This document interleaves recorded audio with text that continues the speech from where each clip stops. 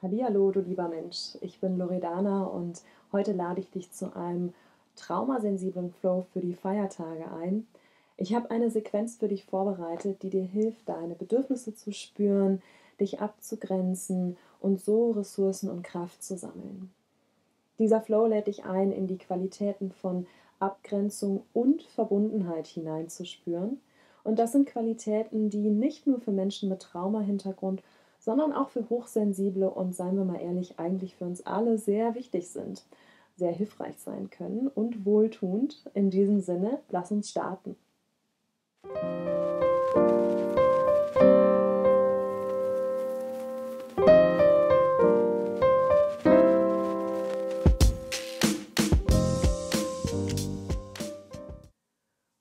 Lade ich dich ein, hier anzukommen und erstmal zu schauen, mit wie viel Energie du gerade da bist.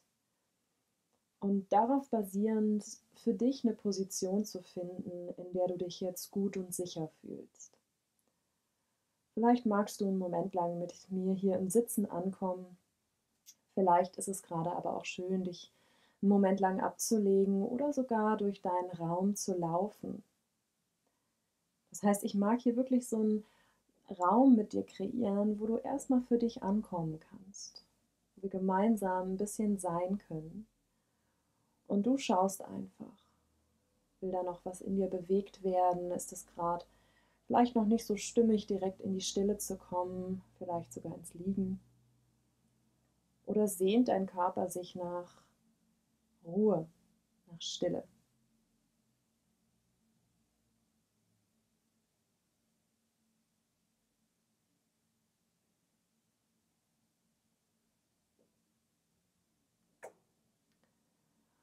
Und so finde eine Position, die deinen Bedürfnissen entspricht. Schau mal, ob du deinem Körper da folgen kannst. Vielleicht gehen deine Augen jetzt automatisch zu. Oder du magst deine Augen noch einen Moment lang offen lassen. Mir ein bisschen lauschen.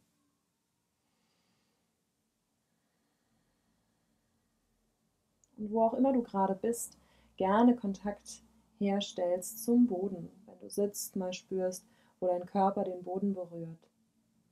Und wenn du stehst oder liegst, auch da wahrnehmen, wo berührt mein Körper gerade den Boden. Und vielleicht diese Idee einladen kannst oder schaust einfach mal, ob die Idee mit dir in Resonanz geht, dass der Boden dich trägt, eine Konstante ist. Und wenn das mit dir in Resonanz geht, dann nimm das gerne mit. Und wenn das nicht mit dir in Resonanz geht, dann mach dir keinen Stress.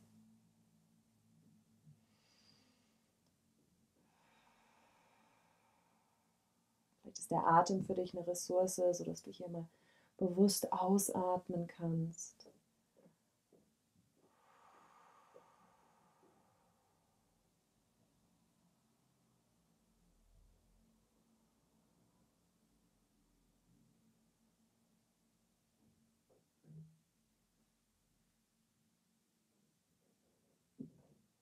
Und auch hier, wenn der Atem für dich eine Ressource ist, dann gerne nimm das mit, wenn ich dich immer mal wieder dazu einlade, auszuatmen, bewusst einzuatmen.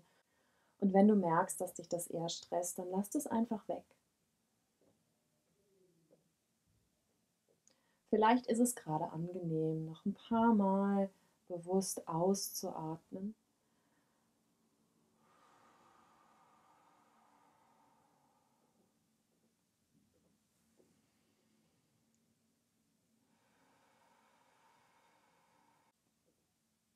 Wo auch immer du gerade bist, komm langsam zurück in einen aufrechten Sitz, wenn du nicht sowieso schon da bist. Hier treffen wir uns gemeinsam. Find dann für dich in eine Vorbeuge und du kannst dich hier einfach mit deinen Händen ein bisschen weiter nach vorne wandern, so weit wie du magst. Vielleicht lädst du auch hier so ein Schaukeln ein. Kannst deinen Kopf mal schwer werden lassen,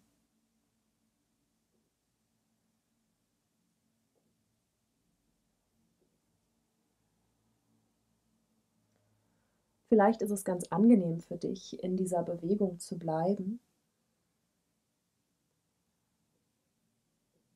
Und vielleicht ist es auch schön, hier in eine Stille zu kommen.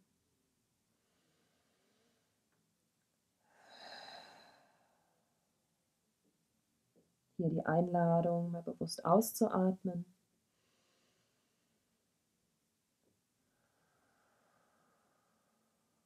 Um dich dann wieder aufzurichten. Die rechte Hand neben dir aufzustellen und den linken Arm über den Kopf zu nehmen. Du kannst nach oben schauen, manchmal ist das ein bisschen herausfordernd für die Nackenmuskulatur, dann schau gern auch nach unten und find dann von hier aus zur anderen Seite. Setz die linke Hand auf und zieh den rechten Arm mit über den Kopf. Und wiederhol das dann einige Male für dich. Du kannst hier einfach mal schauen, dass du dein Tempo findest, deinen Rhythmus.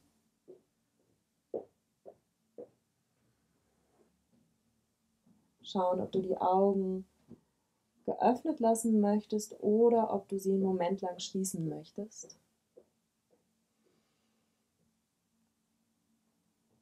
Vielleicht magst du den Fokus dann auch noch mal mehr auf die Bewegung deiner Arme richten.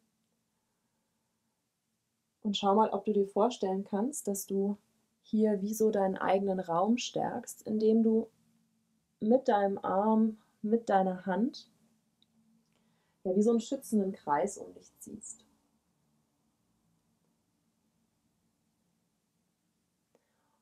Und diesen Kreis, den kannst du auch mehr nach hinten ziehen. Vielleicht dem Arm dann auch mal mit hinterher schauen.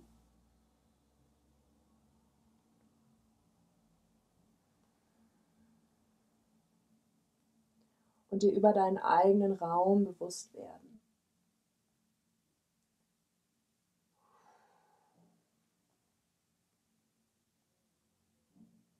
Und dann richte dich von hier aus wieder auf und streck das vordere Bein aus. Und stell die linke Hand wieder auf, nimm den rechten Arm mit über den Kopf und setz hier diese Bewegung fort. Diese schaukelnde Bewegung und du nimmst deine Arme mit. Und wenn das für dich eine gute Ressource ist, kannst du dir hier wieder vorstellen, dass du wie so einen schützenden Kreis um dich ziehst und deinen eigenen Raum, deine eigenen Grenzen stärkst. So dieser Raum, der nur dir gehört, dein persönlicher Raum, wo du entscheidest, wer in diesen Raum hinein darf, welche Gedanken, welche Impulse, dass du dir das nochmal bewusst machst dass du ein Recht hast auf deinen eigenen ganz persönlichen Raum.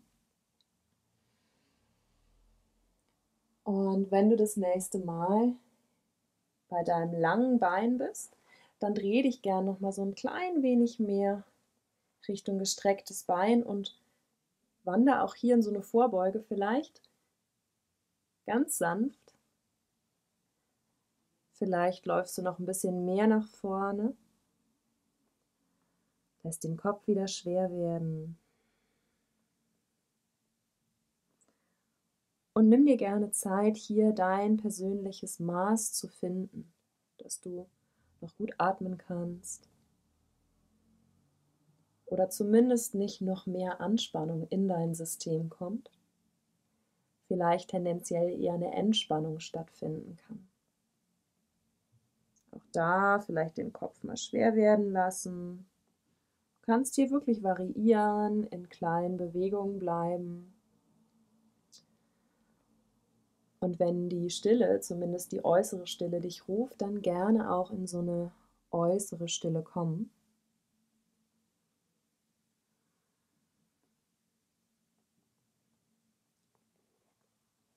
Dich wieder aufrichten und einmal die Beine tauschen, dass du auch hier erst nochmal in so einem Schneidersitz startest, nochmal die rechte Hand aufstellst, den linken Arm über den Kopf ziehst.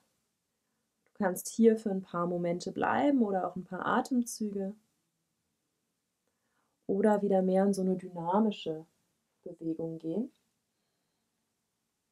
Hier mal deinen Bewegungsradius ja, erforschen, erkunden, schauen, ob du den ganz ausnutzen magst.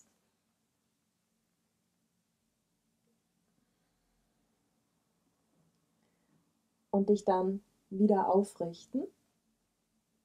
Das vordere Bein wieder lang machen und dann nochmal über das lange Bein.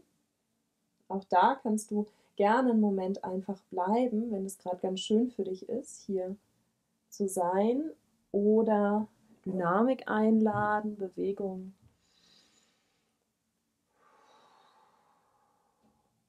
Find hier wirklich dein Tempo und dein Rhythmus. Ich gebe es ganz bewusst nicht vor.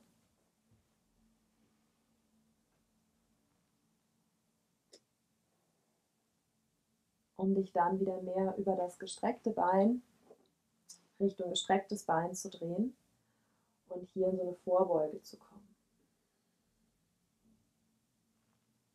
Manchmal ist es auch ganz schön, nochmal ganz bewusst zu spüren, wie dein Gesäß den Boden berührt und dann aus dieser Erdung sozusagen vorsichtig in eine Vorbeuge zu kommen.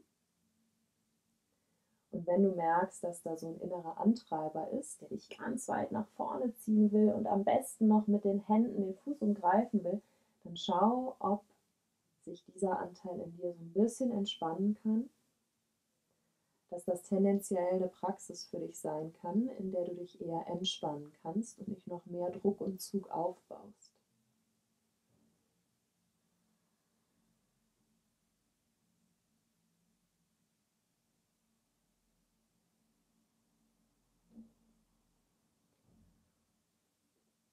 Wenn du magst, lad nochmal den Atem ein.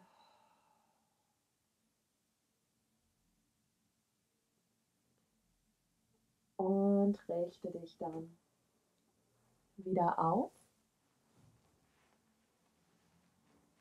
Komm nochmal zurück in ein Sitz und spüre einen kurzen Moment lang nach. Vielleicht ist es jetzt schön, die Augen zu schließen. Oder du hast das Bedürfnis, bewusst die Augen zu öffnen, kleine Bewegungen einzuladen. Mit dem Kopf kreisen bietet sich an. Vorsichtig, freundliche Kreise, Halbkreise oder wenn es für deinen Nacken in Ordnung ist, ganze Kreise.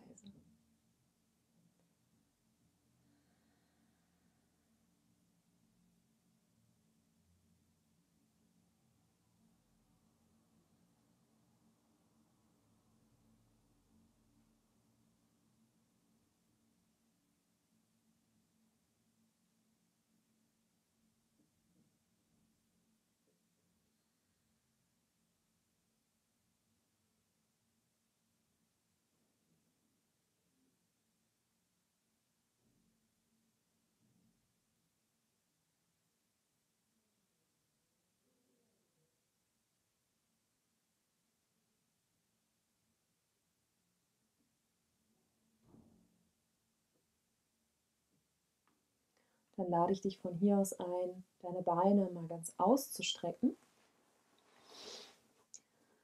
Vielleicht magst du jetzt auch ein bisschen Bewegung in deine Beine bringen.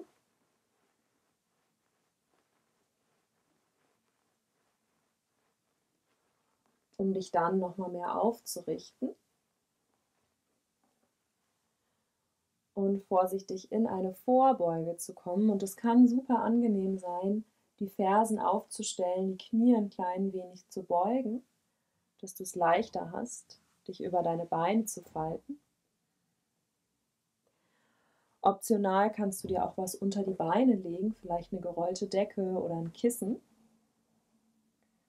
Und dann auch hier langsam, freundlich nach vorne krabbeln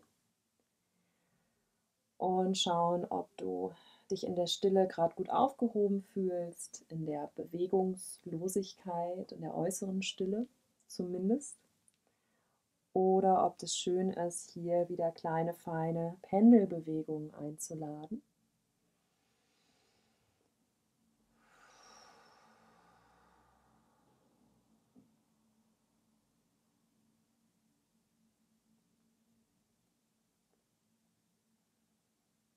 Nimm dir gerne wieder ein bisschen Zeit, um deins zu finden.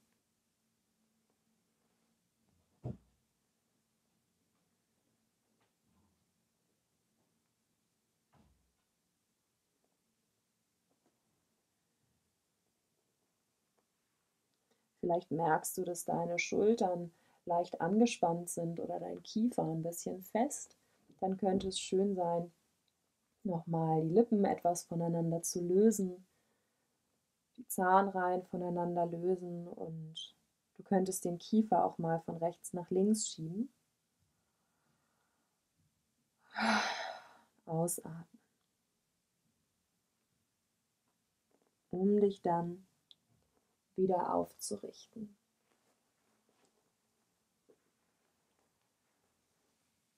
Und vielleicht magst du dir jetzt schon einen Moment Zeit nehmen zur Integration. Dann finde wieder diese Wohlfühlposition vom Anfang. Schau, ob du sitzen magst, mir noch ein bisschen lauschen magst, ob du liegen magst oder auch ein bisschen durch deinen Raum laufen magst. Und wenn du Lust hast, noch ein bisschen mehr in die Kraft zu kommen, dann mach gerne auch diese Übung noch mit. Und wenn du das nicht mitmachen magst, dann lade ich dich trotzdem ein, bis zum Schluss zu bleiben, damit wir, nachdem wir noch mal mehr mit dem eigenen Raum gearbeitet haben, auch noch das Gefühl von Verbindung und Herzkontakt einladen. Also wenn du mitmachen magst, die nächste Übung, dann komm in einen aufrechten Stand und bring das rechte Bein nach hinten zurück.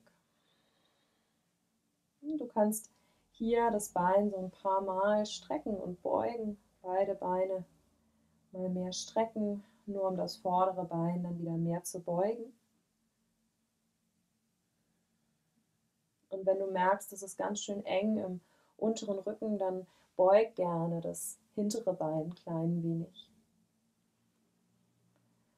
Und wenn du das nächste Mal das Bein gebeugt hast, dann bleib hier Nimm die Hände mit dazu und stell dir vor, du würdest gegen so einen imaginären Widerstand schieben. Und hier nochmal das aus deinem Raum schieben,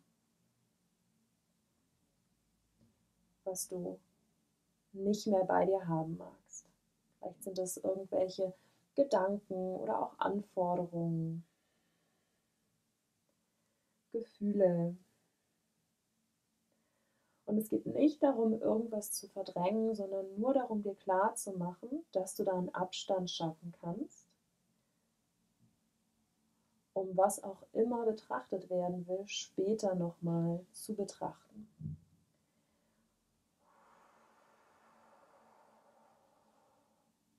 Dann löst das auf, schließ den Schritt nach vorne und spür gern einen Moment lang nach.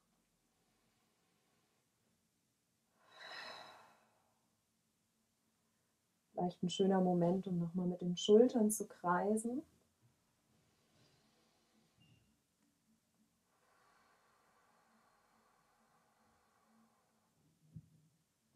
Dann die andere Seite für dich zu üben. Mit dem anderen Fuß einen Schritt zurückzugehen, dich hier einzufinden, einzupendeln, gerne beide Beine nochmal strecken und beugen nur um dann das vordere Bein wieder mehr zu strecken. Manchmal kippt das Bein sehr nach innen oder vielleicht auch nach außen und du könntest darauf achten, dass du dein Knie über deinen Knöchel ausrichtest, bevor du auch hier nochmal beginnst, wie durch, wie gegen so einen Widerstand, dir Raum zu machen, vielleicht auch zu den Seiten, nach oben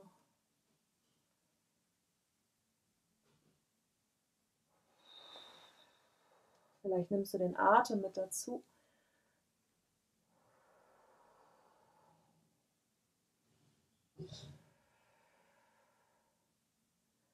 Und löst dann wieder auf. Spürst einen Moment nach.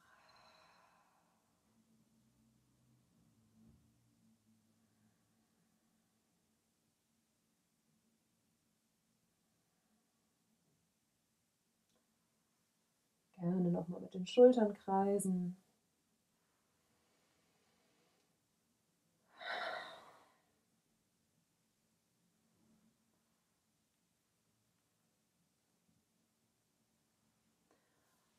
Und vielleicht magst du dir jetzt auch was aufschreiben, vielleicht magst du nochmal bewusst für dich aufschreiben, was du von dir wegschieben magst für den Moment. Ähm, nimm dir gerne einen Moment lang Zeit und dann treffen wir uns wieder im Sitzen. Jetzt, wo du ein bisschen mit deinem eigenen Raum gearbeitet hast, dir bewusst gemacht hast, ne, dass du deinen eigenen Raum hast, du hast ein Recht auf deinen Raum, deine Grenzen, ähm, magst du vielleicht auch nochmal in die Qualitäten von Verbundenheit und Herzkontakt hineinspüren. Und dafür streck deinen Arm aus. Und mit dem kleinen Finger beginnen, schließ die Hand, zieh die Hand zu dir ran Richtung Herz und bleib dort einen Moment. Das ist die Bewegung. Und wenn du magst, kannst du diese Bewegung noch mit einer Intention versehen oder mit einer bestimmten Erinnerung oder einem Gedanken verknüpfen. Vielleicht magst du dir jemanden vorstellen, mit dem du wirklich gerne in Kontakt bist oder etwas, worauf du dich wirklich freust, etwas, woran du Freude hast. Und dann üben, das wirklich danach auszugreifen, das zu nehmen und dir zum Herzen zu holen und einen Moment lang wirklich einsinken zu lassen in dein System. Du kannst es einfach ein paar Mal versuchen. Schau, ob du damit in Resonanz gehst mit dieser kleinen Übung. Und wenn nicht, auch da stress dich nicht ist eine ganz zarte, feine Bewegung.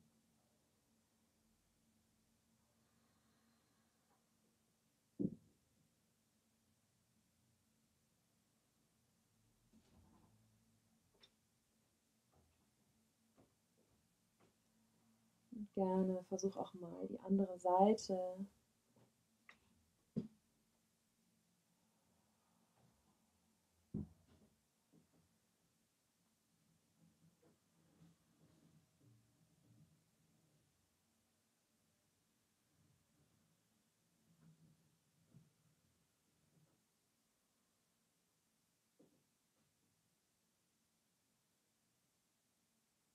Lass die Hände wieder sinken und schau auch hier nochmal, gibt es was, was du dir aufschreiben möchtest, etwas, was für dich besonders wichtig war, was du gerade nochmal reflektieren magst.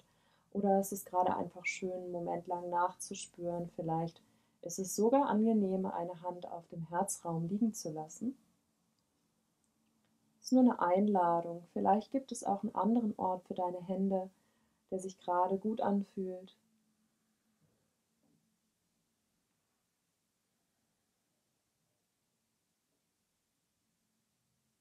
Und dann nimm dir so viel Zeit zur Integration, wie du jetzt gerade noch brauchst. Und ich hoffe, dieses Video hat dir ein paar wohltuende Impulse geben können. Lass mich gerne wissen, wie die Praxis mit dir in Resonanz gegangen ist. Und in diesem Sinne, bis dahin, deine Loredana.